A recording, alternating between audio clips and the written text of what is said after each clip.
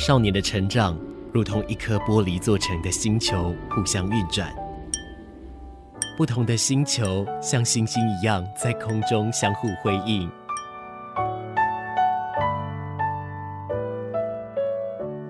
但玻璃发生碰撞时，只能碎裂吗？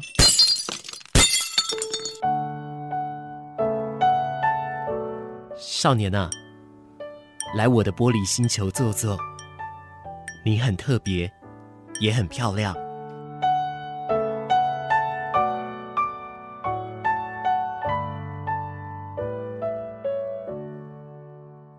阿令的歌曲《幸福了》，然后呢？歌曲的音乐录影带当中有藏了非常重要的符号学跟符号密码哦。马斯在大学的时候就读了这个视觉心理学的课程哦。那这当中呢，我们要针对于各种引发情绪的因子来做分析，包含说恐惧因子、欢乐因子、悲伤因子等等的。那有一组同学他在研究悲伤因子，那他的主题在于。说研究说，人如果那个嗯，要遇到一些不同的嗯，这样是说情侣吵架、关系的争执等等的，会出现什么样的一个共同性？他们发现一定会背对背的这个入睡哦。那这件事情似乎诶，不管说是在这个影像的呈现上，或者是说在现实生活当中，通通都是可以来看得到的哦。所以这也就成为了一个非常重要的一个研究。旧的因子依据啦，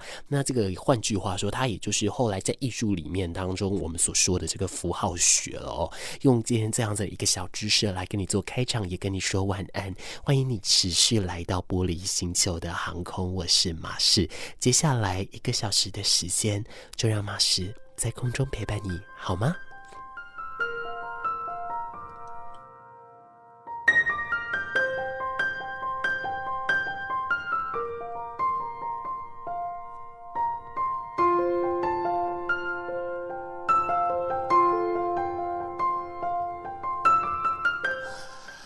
我们生活的悲伤因子其实非常的多，对不对？那呃，有的时候悲伤因子如果没有处理的好的话，那它相较于说，它就会引发我们一个。蛮重要，或者是蛮大的一个情绪反扑，甚至有的时候，当我们不小心做了一点去敏感化，我们似乎对于一些危机，包含说可能自我伤害的行为，亦或像是有一些呃恐惧，我们就不是那么敏感。我们相信来说，我们似乎就会麻痹诶。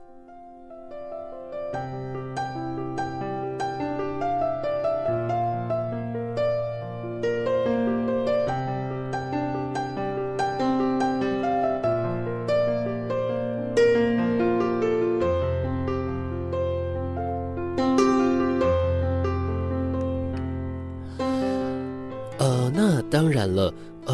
时候使用了一些，嗯，像是说错误的一些方式，当然也会导致我们悲伤因子的产生哦。但是悲伤因子过大的时候，它就会有这个罹患身心疾病的风险。但是，呃，不管是罹患身心疾病还是压力过大，这些都是悲伤因子发酵到极致后呈现的一个结果反应。但其实，像在这两个礼拜，不断的有大专院校的学生来出。现了这个轻生行为，甚至是出现了一些憾事发发生哦。其实这一些我们当然都不鼓励，我们也不希望这件事情发生。如果说你的生活当中你有遇到这一些不如意的时候，如果你还是学生，这你可以多善用学校的辅导机构。那如果说是社会人士，请你拨打一九九五一九二五，甚至来拨打一些可以接住你的一个安全的社会网络，他们都会提供给你很好很好，或者是。非常及时的一个相关的一个救助哦。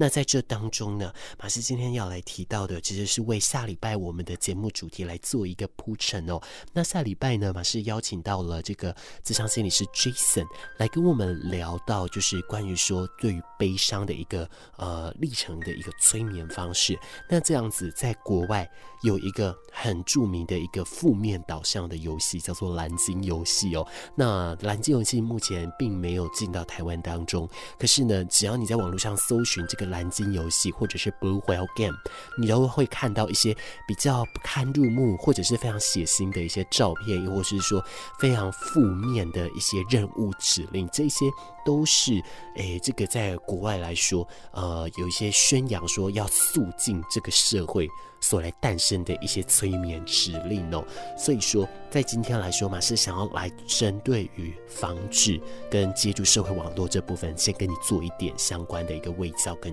预告哦。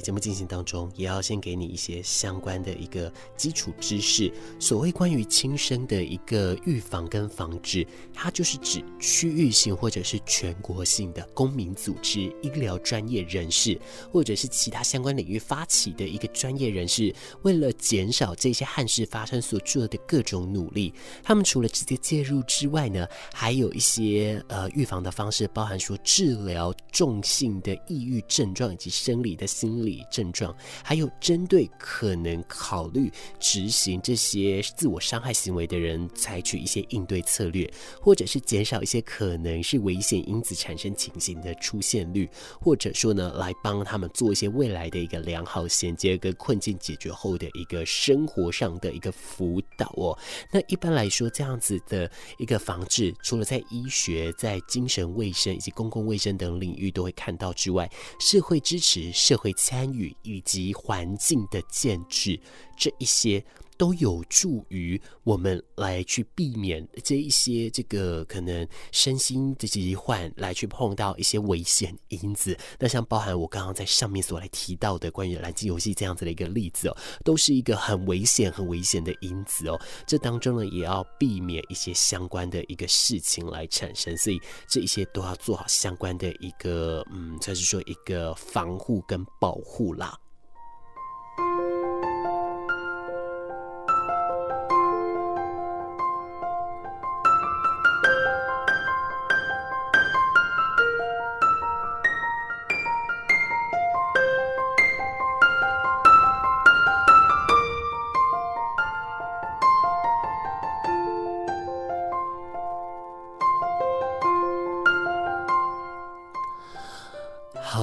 是在这边想要先呃跟您提醒，关于说呃如果说有一些自我伤害，又或是自我认知低落，甚至乃至于说会有一些嗯比较不好的一个嗯结束生命殒命的行为产生的时候呢，诶，这一些它其实都有一些固定的人际模型，或者是说一些呃特定的方向，我们是可以来参照的哦。那在这里呢，马是根据网络上所找到的资料，也来给你。做了一些些相关的一个整理哦。首先呢，关于说这个，根据一些学者在一零年，他们认为有这样子一个自我殒命行为的人，有主要有两个因素。第一个呢，是他有一个。特别强烈的这个想要离开的欲望，那另一种呢是主要因素完成了他这个行为的能力呢？那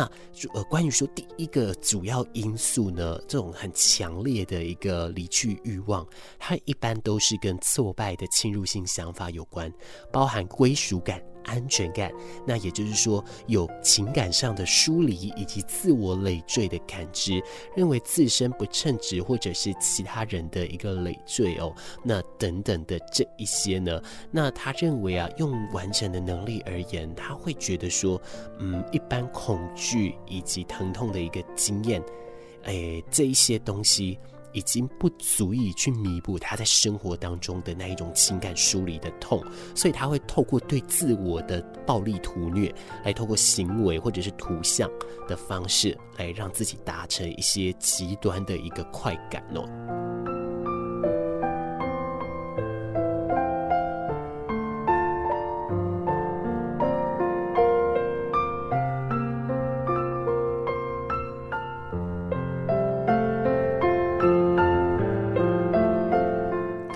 那么另外一种呢，呃，就是关于说呃特定因素。完成了他的这样子一个行为的事情哦，那像是有这一些普遍低落想法的人，他们一般对环境都有他的一个隧道视野，这个在学术上叫做 tunnel vision。那这个认为呢，呃，他们认为这一些行为结果都是解决他们困难处境的一个最简单也最快速的一个方法哦。那这个著名的危险因子跟恐惧因子，包含了这个身心疾病、物质滥用。人际关系，还有一些相关的一个呃，这个家庭的一个安全网络等等，这些都是会让他诶达成这些危险因子的一个主要因素之一哦。可是当然，同时之间一体两面的研究也显示，人际关系处理的比较良好，而且有比较好的家庭支持者呢，他在做出自我伤害行为的风险就会比较低，而且低非常多。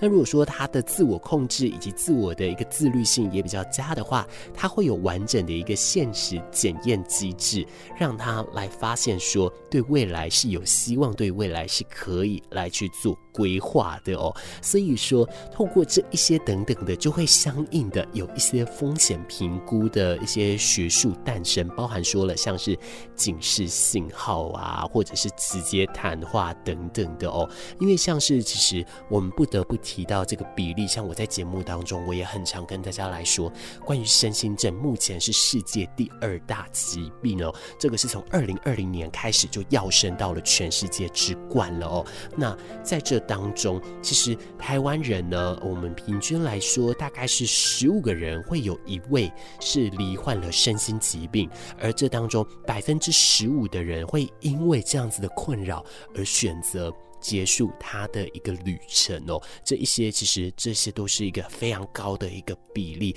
而且这样子的一个比例持续持续的都还在做一个统计当中哦。那当然我们都会不希望这样的一个事情发生，所以相形之下，对于风险的评估警示的信号，我们就会特别的来注意，特别的来观望了。像在美国的这个 American Association of Suicideology 呢，它列出了十项很重要的一个警。是信号哦，包含了有一些思考、谈论或者是一些书写，他们会做一些很完整的一个规划。那包含还有物质滥用、失去生活目的、焦虑、激动、无法入睡或持续的这个呃这个持续的睡眠，还有心理层面受困、无助、社会退缩，不和家人、家庭、社会来有所接触，或者是过度高涨的一个愤怒情绪，甚至会有报复的行为。鲁莽冲动，亦或是心情上的改变哦，这些都是在美国的这一个相关防治学协会呢，嗯，他们所来列出的十个的一个相关警示信号。那么的 WHO 他还提出了一个有效评估的一个方式，就是直接和当事人直面讨论，因为像在这个时候，我们可能会担心说，或许会。呃，过度刺激啊，等等之类的。但是根据 WHO 的观察，还有马氏过往呢，来跟各个社工师啊，以及各式的一个心理学家来访问的时候呢，我们都得出了一个结论，就是其实面对于这个有一些比较难过的一些呃规划的时候，其实这一方面可以直接一点，可以直接的来询问，并且给予直接、最最直接的帮助，因为这个对于这个。大多数的疾患而言呢，他会知道其实是有人关心他，其实是有人愿意承接他的，所以对他们来说，相对来说也是比较窝心的哦。那从这里呢，就会慢慢慢慢的就会来讨论到说呢，嗯，我们当然都是要保持着谨慎关心的同时下来提出，要告诉他们说，呃，我们都愿意陪伴，可是世界卫生组织也建议。千万不能说一切都会没事的这句话哦，也不要让问题变得不重要，也更不要把重大的问题给予不真实的保证。我们永远都不是当事人，我们永远。没有办法来代表他的一个感受，我们只要让他慢慢的有一个自身感觉讨论，而且循序渐进，让他知道 I care，I care 呢，这个叫做指认想法和这个想法连接，评估相关证据，重建正面想法，用重新建立的想法来表达感受哦，是一种可以来执行的一个相关的一个讨论模式哦。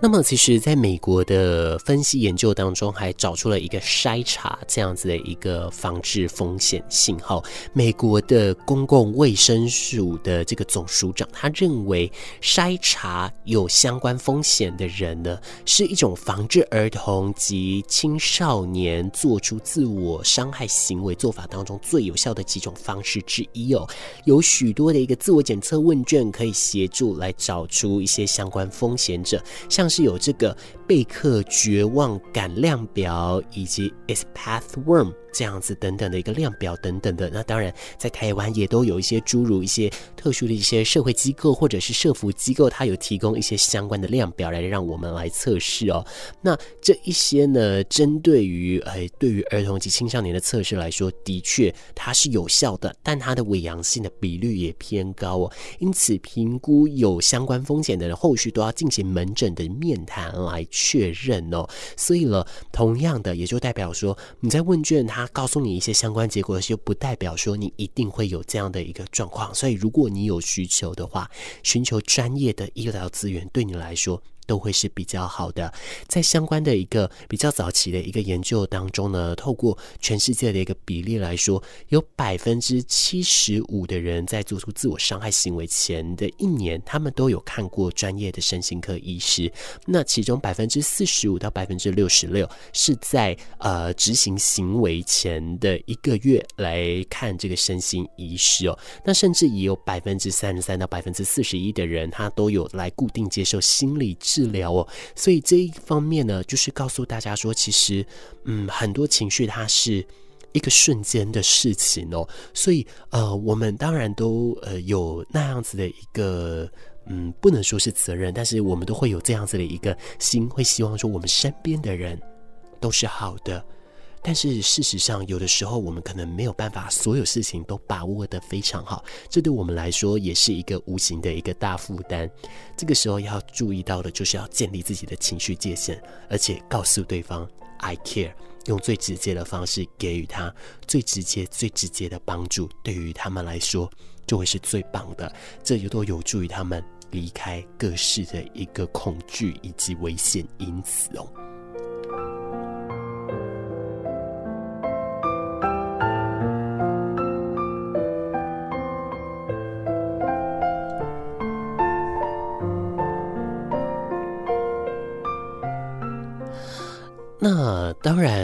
恐惧因子或者说是危险因子，这些我觉得他们也都是一个渐进的迁移过程。也就是说，它有一个历史轨迹可循。可能一开始从小小的东西开始，那我就会觉得可能会从困难因子开始。我们怎么样找出这种困难因子呢？其实讲的白话一点，就是我们生活当中可能会遇到的困难。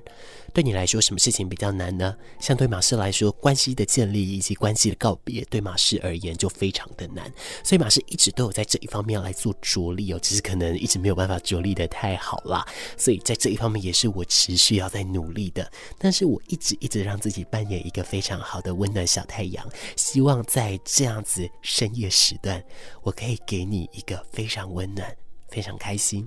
非常愉快的。一个生活模式。如果你真的很难过，请你来找马师，马师会带你到玻璃星球坐坐，带你到玻璃星球来玩玩。我会跟你说，找到你是我最伟大的成功。哎，听说在商店里播放电视、收听广播都要取得音乐授权，是真的吗？哦，这要看情况而定。如果只是单纯打开电视或收听广播，是不用付费的。但如果是在接收电视广播节目之后，再拉线加装多台电视，或用扩音设备传送给客人看或听，或者是在店内播放 CD，那就要付费取得著作权人的授权哦。经济部智慧财产局关心您。哇，你怎么带这么多钱啊？而且还折成这个样子，就懒得拿去银行存呗。哎，这样很不安全呢，要存回银行啊，才能让市面上的钞票太旧换新，又可以赚利息哦。嗯，钞票太旧换新？对呀，银行会把大家存入的旧钞挑出来，换成干净的钞票，让大家提领，才能维持市面上钞票的整洁。哦，原来如此啊！旧钞回得去，新钞出得来，全民一起来。以上广告由中央银行提供。听众朋友，大家好，我是灵异舞蹈制作的灵异。喝酒开车最不行，酒醉的人无法掌控路况，请不要心存侥幸，别再当移动危险车，珍惜生命才是王道。高雄广播电台陪您一路平安，FM 九四点三，AM 一零八九。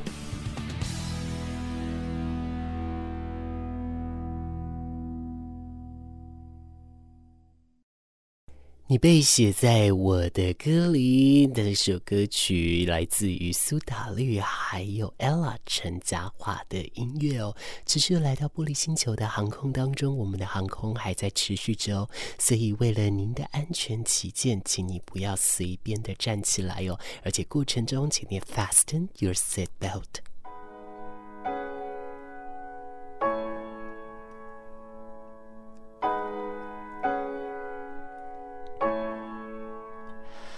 下个礼拜就是圣诞节了，但是在圣诞节当中，马氏呢想要安排的。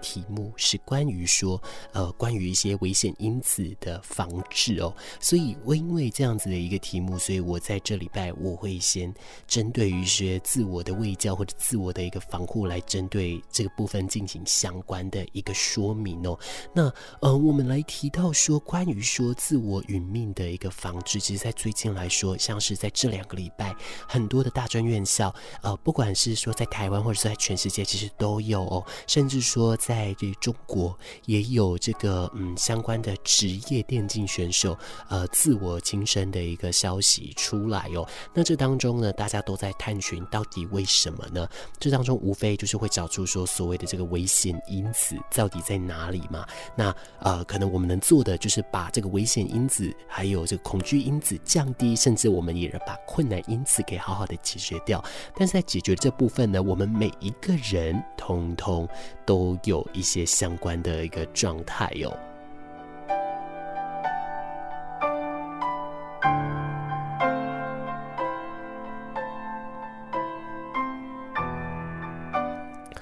全世界各地呢，因着呃不断节节上升的这样子的一个轻生率，所以说有诞生出了非常多的一个呃相关的预防组织，包含不管是区域的公民组织、医疗专业、社服机构等等的这一些，通通都会做哦。那诶也有提到说，我们个人我们要怎么样来跟人来沟通？那像是在这个 WHO 这边呢，他们就提到了，你可以直接的跟个案来做有效对话，而且直接对。对谈就可以了，不需要去过度担心说，哎，可能他的话语呀，会对于他进行了一个过度的一个执念哦。那如果这样子讨论，会不会把这件事情让当事人记到心中？这件事情呢，经过科学证实是完全不正确的哦。不过呢，在讨论的问题都要保持着谨慎跟关心的这个前提下来提出哦。策略是要减少当事人的伤心，并且。保证有其他人也在关心他使用这个 I care 这个指认想法的一个讨论渐进方式，让他知道他的悲伤有人愿意来为他承接哦，这个就会是一个非常有效一个消除恐惧因子的一个非常重要的方式之一哦。那这另外呢，如果说是外界的一个直接介入的话，包含说减少渠道这件事情哦，在减少渠道来说呢，也可以是相关的预防防治中非常重要的。的一部分，很多的研究者，包含了公共政策计划人士呢，都有提出一个理论来支持，提到呢，减少一些相关的一个轻生渠道，你就可以来减少这相关的比例，或者也减少相关的人数，因为它可以减缓一些行为，让一些执行效果变得更加的困难哦。那过了一段时间，抑郁情形有改善，那它相对它安全的风险也就高非常多了。那一般而言呢？减少渠道的方式呢？哎，它的都会有一个强而有力的一个数据来做支持哦，包含说它会有一些特定的一个热点管制，还有限制人员进驻，这一些都是有效来降低这个比率，或者设置标语监控等等的呢？哎，这一些也都是有效果的哦。那历史上呢，比较著名的一个减少这个渠道的案例是英国的煤气，一直到一九五零年代为止，英国最常见的一个轻生方式就是吸入煤气，当中就含有一氧化碳了，所以就会导致他中毒而死。那在一九五八年的时候，他们引进了天然气，其中呢没有了一氧化碳，之后的十年内。天然气占瓦斯总使用量的百分之五十以上，也就因此轻生比例就这样大幅降低了。原因之一呢，也就是因为他们所来使用的这个嗯比例也都大量下降了哦。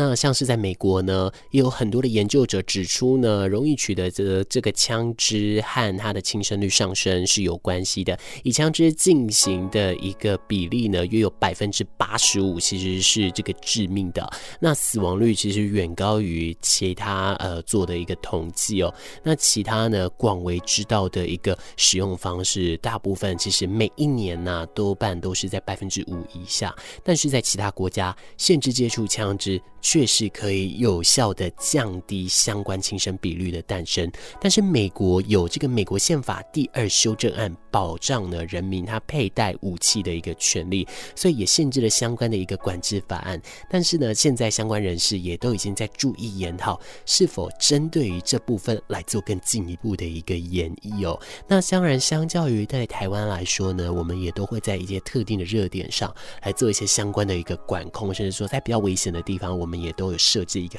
非常大的一个标语哦，甚至包含说像是这个危险热线。其实危险热线呢，就像是这个呃，像是这个一九九五、一九二五等等的，就是让处于心理危机的人能够联系志愿者或是职员，他们可以通过通话、简讯、网上聊天呢，也可以来见面交流哦。那虽然说呢，这个很常见，但对他们的这个研究来说，其实没有那么充分。那当中目前在社会比较能让我们注意到的一个研究是说，拨打这个电话热线的人的心理痛苦、无助感以及相关的一个欲望呢，从电话当接通后的几周后。都会有所降低哦，但是呢，在长期来说，目前是还没有减少了，在这一部分都还需要长时间的一个累积啦。但是的确，我认为积沙成塔，聚少成多，每一次一点点，那直面让我们去理解我们的困难，把这些困难因此一层一层的解决掉，对我们来说都是比较好的处理方式哦。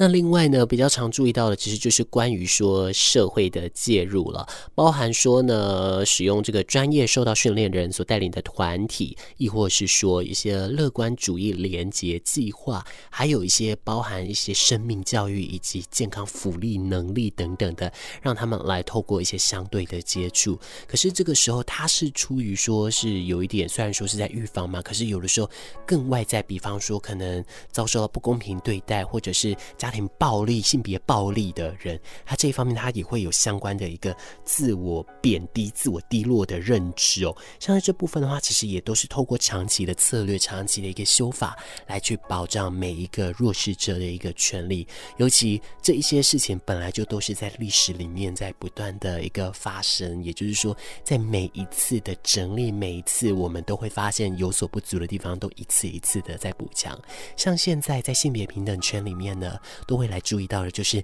男性也会是性别暴力的受害者哦，甚至说，其实，在中东国家，都会有透过一些性侵的方式，让一些男性对自我价值来做一个很大的一个低落跟自卑，让他去觉得说他自己不再身为一位男性，而对此来达到一个牢狱服从的一个方式哦，这对他们来说是非常非常常见的一个侵害方式之一。那现在已经有越来越多的人。全组织注意到这一件事情，也针对这一件事，不断不断的来去做改正了。所以说，在历史当中，我们发生的每一件事情，每一个恐惧因子，每一种的困难因子，我们持续的一直都有在处理它。只是说，或许我们速度没有这么快，但是如果你现在深陷领域，请你相信，你的悲伤真的有我们愿意承接。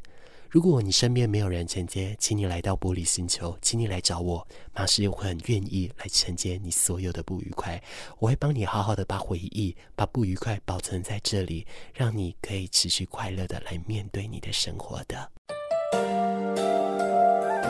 充满活力的每一天，就像是欢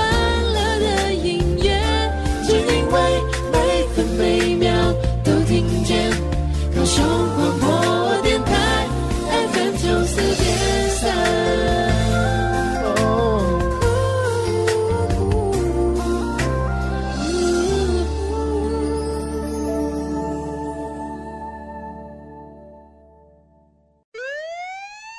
我不该吸毒，吸毒让我失去健康，失去自由，也失去了一切。青春的 tempo 要有坚定的意志去 follow，别让毒品趁虚而入。